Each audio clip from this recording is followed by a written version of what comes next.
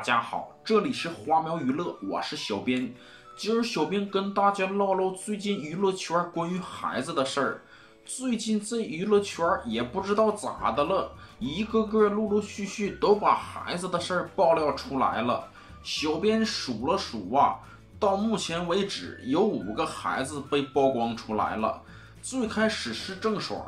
郑爽跟张恒代孕两个孩子的事儿被爆料出来了，这个大瓜让大家啃了个水饱，哈哈。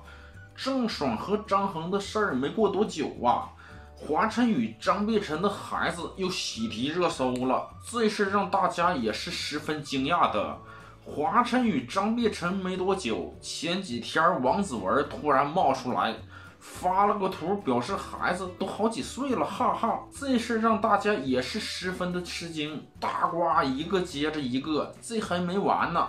昨天也就是十五号，知名男星张雨健也跑来凑热闹。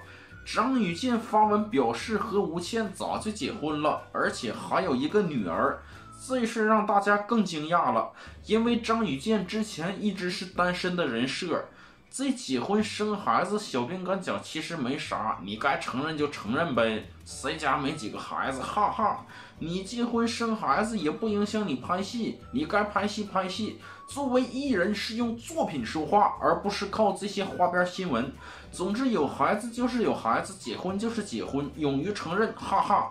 娱乐圈关于孩子的大瓜有点多，小编敢讲，这和郑爽有关。因为郑爽影响力可以影响娱乐圈的大方向，郑爽之后，其他明星不得不承认，要不怕到时候被爆出点啥事儿，那影响就大了去了。所以这时候出来承认，还会树立孩子父母的好形象。另外，粉丝通过郑爽的事件之后，心理承受力变强了，对于其他明星没结婚有孩子这事儿都不算事儿了，只要孩子是自个儿的就好，哈哈。